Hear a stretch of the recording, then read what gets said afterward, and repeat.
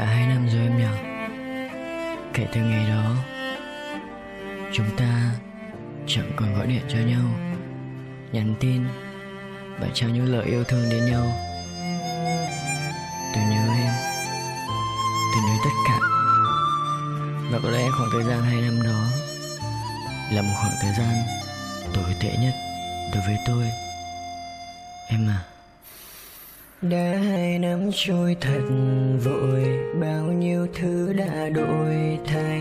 Hôm nay tôi gặp em trên con đường cũ cùng người ta.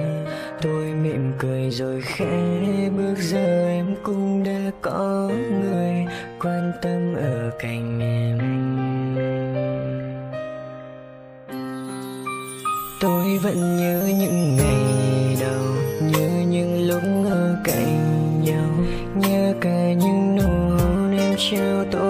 thật bình yên. Cuộc tình đầu tôi gìn giữ, tôi yêu em hết tim mình, nhưng tại vì sao?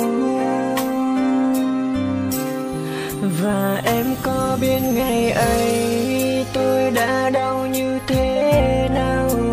Tôi từ bỏ mọi thứ để có thể bên cạnh em.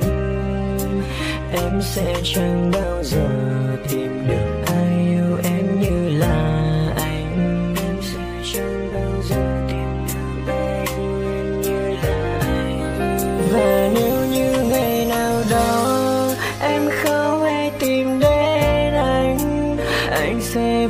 ở đây vẫn luôn đứng ở đằng sau.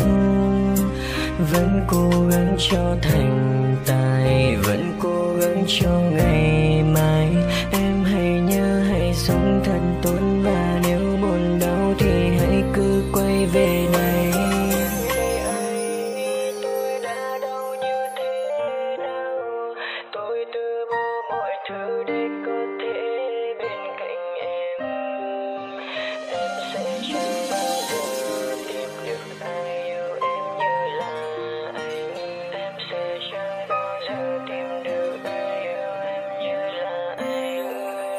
tôi vẫn nhớ những ngày đầu, nhớ những lúc ở cạnh nhau, nhớ cả những nụ hôn em trao tôi thật bình yên.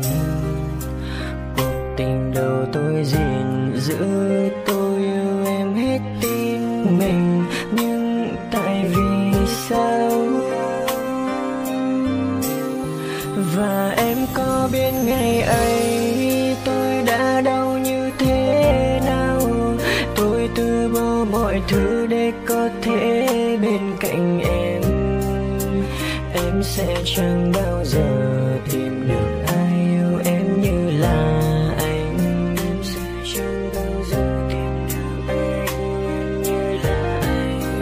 Và nếu như ngày nào đó em không hay tìm đến anh anh sẽ vẫn ở đây, vẫn luôn đứng ở đằng sau vẫn cố gắng cho thành tài vẫn cố gắng cho ngày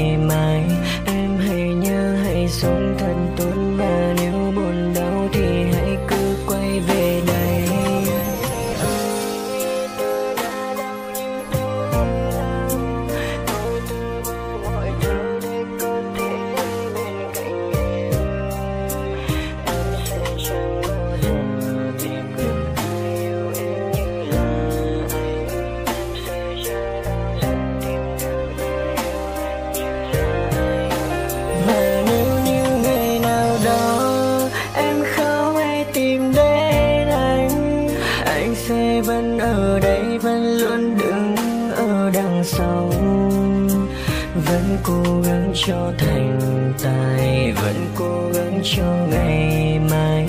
Em hãy nhớ hãy xuống thân